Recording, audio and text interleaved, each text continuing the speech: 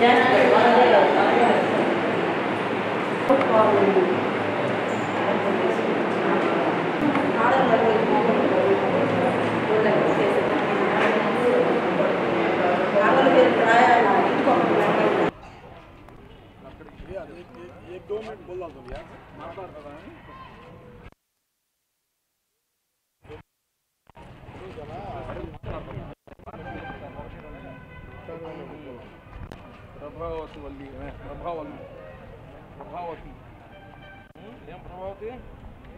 ఏ ఏం లేదులే బాగానే ఉంది అది. ఇంత మాట్లాడుతున్నాము ఎవరిని వదిలేదే లేదు. చేస్తాంలే. నేను ఈడనే ఉంటానులే నేను ఈడనే ఉంటానులే. వైఎస్ఆర్సిపి ప్రభుత్వం ప్రజలు ఎన్నో ఆశలతో తీసుకొని వచ్చుకున్నారు. చాలా బాగా చేస్తారని. ఈ ప్రభుత్వం వచ్చిన రోజు నుంచి ప్రజలకి ఇబ్బంది పెట్టడం తెలుగుదేశం కార్యకర్తలపైన హత్యలు వాళ్ళపైన అనేక రకంగా ఇబ్బందులు చేయడం ఎంతోమందికి హత్యా ప్రయత్నాలు జరిగాయి. ఈ వారంలో సజ్జాపురంలో ఒక రైతుకి వాళ్ళ పొలంలో వెళ్ళి దౌర్జన్యంగా పోయి ఆడ గుంట కొట్టడం కాలువ తవ్వడానికి దౌర్జన్యం చేయడం వాళ్ళని కొట్టడం ఇది. మళ్ళా నిన్న ఆమంచర్లలో ఇదే పని రైతులను పోయి కొట్టడం. ఎవరు? తెలుగుదేశం ప్రభుత్వం వాళ్ళని తెలుగుదేశం కా కార్యకర్తల్ని. ఈరోజు మన మాదరాజు గూడూరులో పల్లెపాలెంలో ఆరు మంది చనిపోవాల్సింది. రాడ్లతో దాడి చేశారు రాడ్లతో. మహిళలని కానీ చూడలేదు.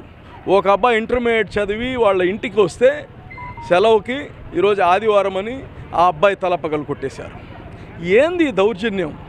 ఏమైనా ఈ యొక్క ప్రజలు ఇచ్చిన వర్డిక్టు ప్రజలు మీకు ఈరోజు కోరుకొని ముఖ్యమంత్రి మీ ప్రభుత్వం తెచ్చింది ఇది శాశ్వతం అనుకున్నారా?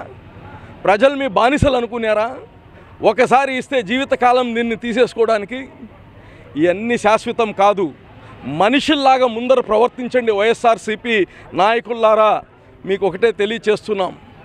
మీకు కానీ కుటుంబాలు ఉన్నాయి మీకు కానీ బిడ్డలు ఉన్నారు ఇక్కడ అవతల పక్క కానీ మేము మానవత్వంతో ఉన్నాం. మీ యాటిట్యూడ్ని మేము మార్చలేం.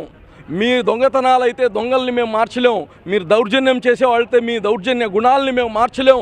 మీరు హత్యలు చేసేవాళ్ళైతే మీ యొక్క ఆలోచనల్ని మేము మార్చలేం. అట్టని ఇప్పుడు మీరు మీరు చిన్న గీత ఉందని మమ్మల్ని పెద్ద గీత గీయమని మీరు మమ్మల్ని ప్రొవోక్ చేస్తున్నట్టున్నారు. అయితే సహనానికి కానీ ఒక హద్దు ఉంటుంది. ప్రతిరోజు ప్రతిరోజు ఏం ప్రాణాలంటే కాస్త కానీ మీకు మర్యాద లేదా? పులివెందల అని ఎందుకు చెప్తున్నారంటే అందరూ దీనికే. గతంలో నెల్లూరులో ఇటువంటిది ఎవరు చూడలేదు. ఎవరైనా రావచ్చు. ప్రభుత్వము ఒకసారి కాంగ్రెస్ ఉండి ఉండొచ్చు ఒకసారి తెలుగుదేశం ఉండొచ్చు ఒకసారి ఇప్పుడు మీరు వచ్చారు. తప్పేంది? మీకు ఒక అవకాశం ఇస్తే అందరికీ ప్రేమగా ఉండండి. ఈరోజు అలా కాకుండా దౌర్జన్యాలు బెదిరింపులు హత్యలు ఇంకోటి ఒకటే నాయకుడు యథా రాజా తదా ప్రజ అన్నట్టు ఇక్కడ ఆరు మంది ఆరు మంది ఇద్దరు మహిళలు ఒక అబ్బాయి మిగతా ముగ్గురు కానీ వాళ్ళందరూ తలలు పగలు కొట్టుకొని రాడ్లతో పగలు కొట్టేసి ఈరోజు వచ్చి ఉంటే ఆ పక్కనే బ్లేడ్లతో గీసుకొని వచ్చి వాళ్ళు పక్క బెడ్లో పైన కూర్చో ఉన్నారు. ఏంది ఇది?